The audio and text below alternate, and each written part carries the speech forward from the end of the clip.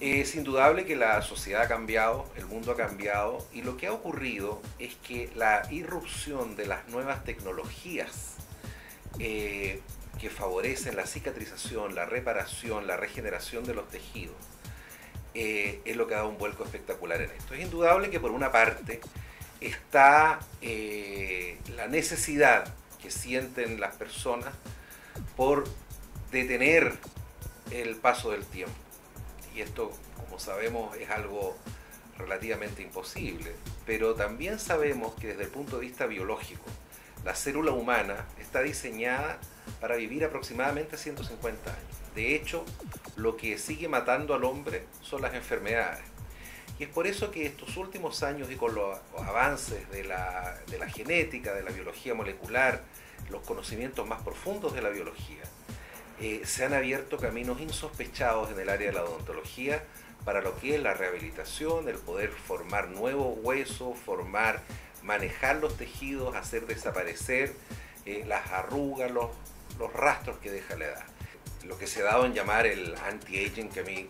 soy purista, me gusta más bien eh, expresarlo como los tratamientos anti-edad, y más que anti-edad, contextualicémoslo, es para paliar o manejar la expresión que tiene en el rostro el paso de los años. Es indudable que se plantea entonces la pregunta hoy en día, ¿quién se hace cargo de esto?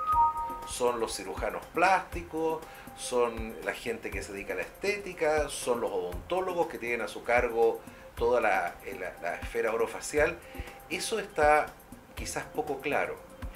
pero Hoy en día el mundo, la medicina funciona en lo que se llama, la odontología se llama la OVE, que es la odontología basada en la evidencia.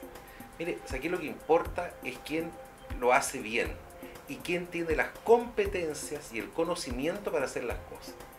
Y en eso, y en ese sentido, a cualquier universidad que una de las cosas que tiene que hacer como institución es buscar la verdad y ir siempre tras los los nuevos acontecimientos, los nuevos descubrimientos, me parece muy apropiado que abordemos como facultad de odontología y acojamos en nuestro seno a personas que están preocupados y están estudiando y están aportando conocimientos en esta área que sin duda es fascinante y que sin duda atrae eh, gran interés por parte de la comunidad. Lo importante es que establezcamos la verdad eh, la verdad científica.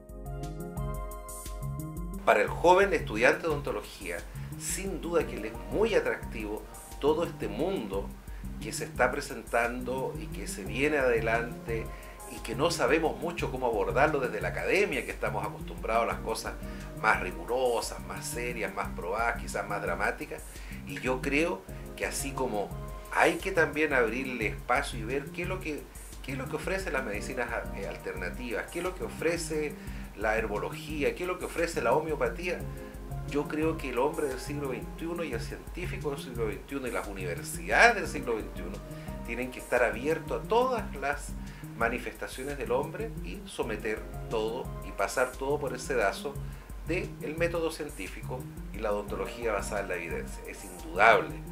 que para un joven odontólogo el mundo de la cosmetología es fascinante. Se le abren al eh, odontólogo joven eh, nuevos desafíos y nuevas áreas muy atractivas como es la estética. Y la estética tiene que ver con los tratamientos de ortodoncia, de arreglar los dientes, tiene que ver con la cirugía ortognática de la gente que es papicho, operarse, arreglar los perfiles, con hacer desaparecer las arrugas, con tener eh, sonrisas blancas, estéticas, porque el hombre de hoy, la mujer de hoy, es muy exigente desde el punto de vista de su, de su apariencia. Es importante decirle que siempre cuando se abordan temas eh, en ciencia y en el mundo de la odontología y la medicina, es bueno sacar la cabeza fuera de la frontera. Si bien en Chile tenemos estupendos y hay buenas asociaciones y muy buenos clínicos que están trabajando en el área del rejuvenecimiento facial y del, de la antiedad, en esta oportunidad vamos a tener la suerte de contar con especialistas que vienen de Europa, de más encima con la facilidad de, en habla castellana, porque vienen de España, eh, y va a ser yo creo que muy interesante escuchar cuál es la experiencia que tienen los europeos. Eh, en Europa, en Japón, en Estados Unidos, básicamente se iniciaron todas estas técnicas, así que aquí hay una muy buena razón de más para escuchar qué es lo que los clínicos del viejo continente tienen que contarnos. Con mucho cariño y mucho afecto los invitamos a todos los jóvenes estudiantes de odontología, a los jóvenes odontólogos, a toda esa enorme cantidad de colegas que yo sé que están muy interesados que este tema de los tratamientos regenerativos, de los tratamientos estéticos orofaciales, les interesa muchísimo. Yo creo que de aquí un tiempo más es posible que esto sea incluso un posgrado. Vengan a visitarnos, vengan, aprovechen esta magnífica iniciativa de Web Dental y de pasadita conocen nuestra universidad, sienten nuestro cariño y eh, vengan a aprender algo nuevo.